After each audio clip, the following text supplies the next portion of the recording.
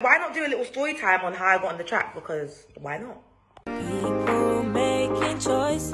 So let's just get into it. Boom. When I was about 14, I used to go to this youth centre called Tablet Mix in South Kilburn. Shout out my people them every time. One day they like to ask, oh, um, people want to come and basically record us. I'm like, me love a little camera. I'm like, yeah, I'm in. It was Clean Bandit, yeah, the Clean Bandit. So little 14 year old me um, sang my little Adele cover and done. Like then when I was 16, one day just minding my business, you know, chilling on Facebook as the kids did.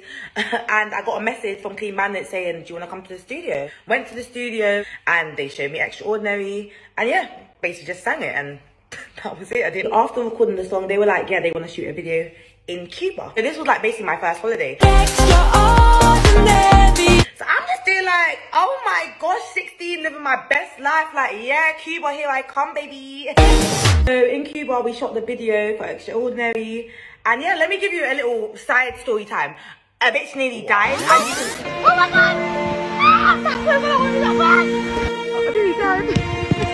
I remember being in college, uh, like seven years old, and hearing that my song's on the radio. Like, I kept getting like little BCs like, oh my god, your song's on the radio. Cause I'm the only one who knows the things Me on radio, blah, blah. It done really well and the video done really well. So literally millions and millions of people have seen me looking absolutely disgusting. Uh, dancing like I can't dance when I can really buck out. But we move, we move. Um, but yeah, that's my story time on how I got on the track with Clean Bandit. And yeah, go listen to your girl now because obviously I'm an R&B babe and you know the vibes. Go listen to my new tracks.